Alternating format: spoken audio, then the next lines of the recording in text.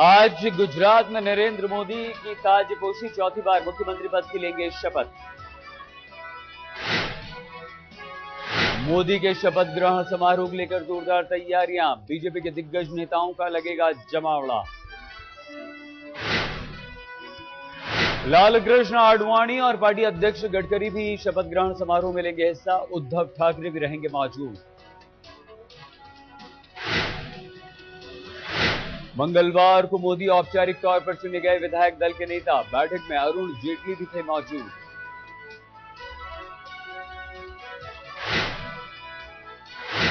BJP शासित राज्यों के सीएम भी शपथ ग्रहण समारोह में लेंगे हिस्सा। नीतीश को नहीं भेजा गया निमंत्रण पत्र।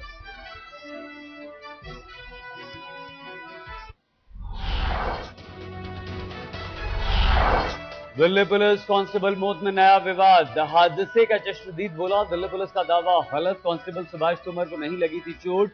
मैं गिरने से वेंटिलेटर तक था सुभाष तोमर के साथ। प्रदर्शन वाले दिन की दो तस्वीरें आई सामने। तस्वीर में सुभाष को संभाले दिख रहा है चश्मदीद योगेंद्र। पुलिस ने किया था दावा, सुभाष के गर्दन छाती में लगी थी चोट। मंगलवार को पूरे सम्मान के साथ सुभाष कांस्टेबल को दी गई विदाई महकमे के आला अधिकारी अंतिम संस्कार में पहुँचे। दिल्ली गैंग रेप की शिकार लड़की की हालत गंभीर, तबीयत में अब भी कोई सुधार नहीं। गैंग रेप मामले में एक आरोपी अक्षय ठाकुर की आज पहचान परेड, तिहाड़ जेल में होगी ये परेड।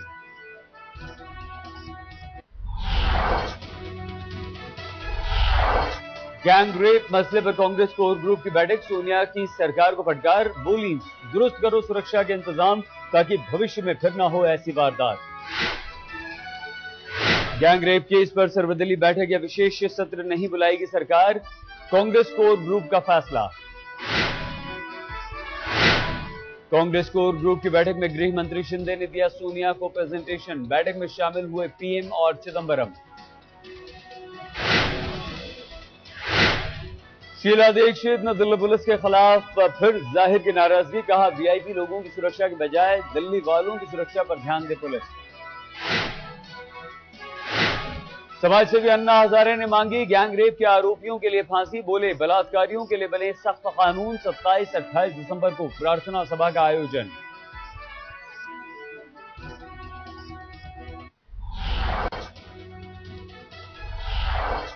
नीतीश कुमार ने की लड़कियों को मार्शल आर्ट सिखाने की वकालत, बोले आत्मरक्षा के लिए बेहद ज़रूरी। बिहार में अब तक एक लाख लड़कियाँ ट्रेन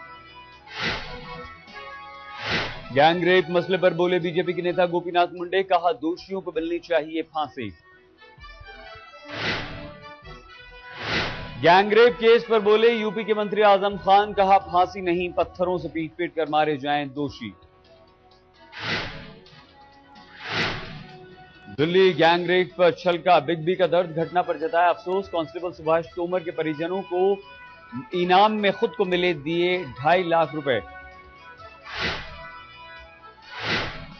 गैंग रेप पर बोले राष्ट्रपति प्रणब मुखर्जी, कहा, पीएम ने दिया भरोसा, सरकार उठाएगी उचित कदम, प्रदर्शनकारी गुस्से पर रखें काबू।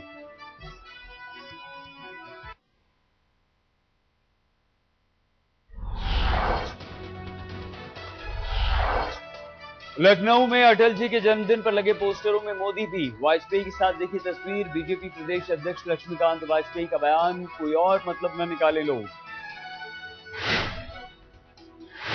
लखनऊ में अटल जी के जन्मदिन में मुख्य अतिथि बनकर पहुँचे कल्याण सिंह, बीजेपी के नेताओं ने किया जोरदार स्वागत।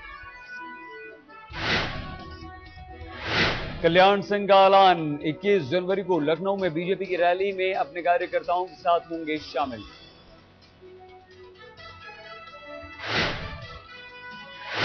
कर्नाटक में येदियुरप्पा का सरकार के खिलाफ आज से हल्ला बोल। येदियुरप्पा के मुख्यमंत्री रहते शुरू की गई। योजनाओं को फंड नहीं मिलने से नाराज़। येदियुरप्पा की पार्टी का विधानसभा के बाहर धरना प्रदर्शन।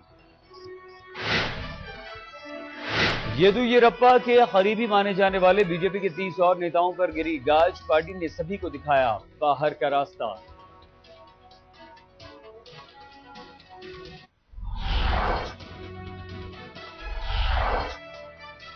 बीती रात दिल्ली के दिलशाद गार्डन में दर्दनाक हादसा। महिला समेत दो बच्चे कार में ज़िंदा चले। हादसे में तीन लोग बुरी तरह से घायल। अपने घर नई सीमापुरी से शादी समारोह में शामिल होने जामा मस्जिद जा रहा था परिवार। रास्ते में चलती हुई कार में लगी आग। स्विफ्ट डिज़ायर कार में सवार थे सभी लोग। कार के शीशे तोड़कर सभी को बाहर निकाला गया। राहगीरों का आरोप 100 मीटर की दूरी पर फायर स्टेशन होने के बाद भी देर से पहुँचे दमकल कर्मी। बीती शाम दिल्ली के साकेत में दो लड़कियों के साथ छेड़छाड़ की घटना, तीन मंचले गिरफ़्तार। मॉल घूमने आई लड़कियों के साथ नशे में धुत लड़कों ने की छेड़खानी, शोर मचाने पर पुलिस वालों ने पकड़ा।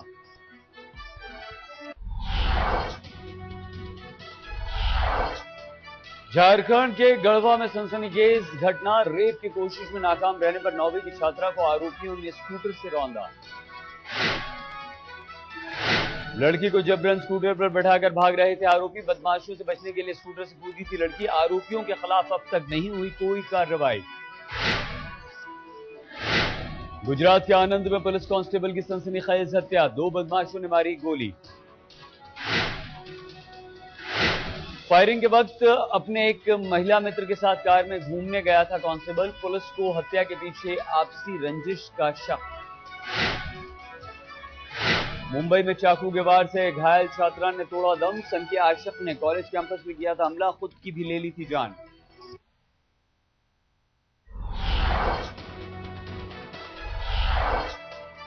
बेंगलोर में पहले टी ट्वेंटी मुकाबले में पाकिस्तान के हाथों टीम इंडिया को मिली हार। हाई वोल्टेज मुकाबले में पाँच विकेट से जीता पाकिस्तान।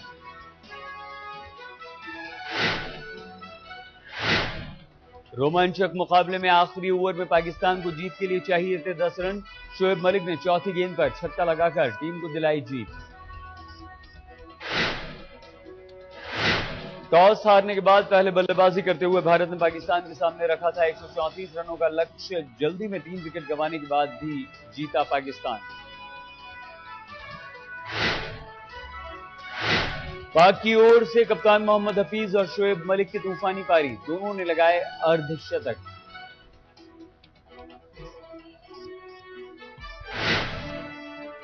भुवनेश्वर कुमार की मेहनत पर बाकी के गेंदबाजों ने फेरा पानी। हफीज और शोएब मलिक के आगे छूटे पसीने।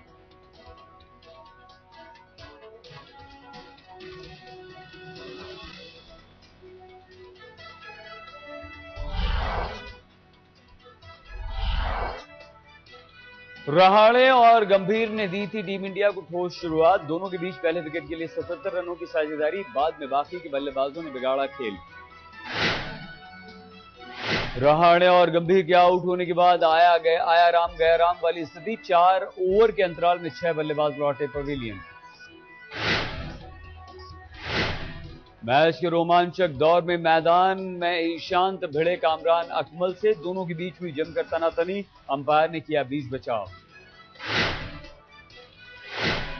हार के बाद कप्तान धोनी का बयान 10-15 रन पीछे रह गए। 143 का स्कोर सेफ़ होता। जडेजा से आखिरी ओवर कराने पर बोले धोनी, नहीं बचा था कोई विकल्प। दो टी ट्वेंटी मैचों की सीरीज़ में पाकिस्तान एक शून्य से आगे, दूसरा और आखिरी मुकाबला 28 दिसंबर को अहमदाबाद में।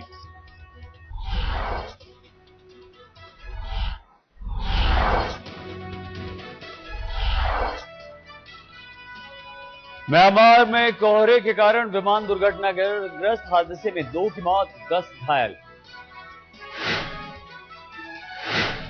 सरकारी टेलीविज़न के अनुसार धुंध के कारण पायलट को नहीं दिखा रनवे, धान के खेत में जा गिरा प्लेन।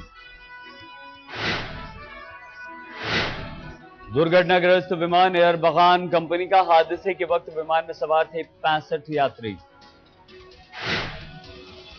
मिस्र में नए संविधान पर कराए गए जनमत संग्रह का विरोध काहिरा में लोगों ने किया जमकर प्रदर्शन।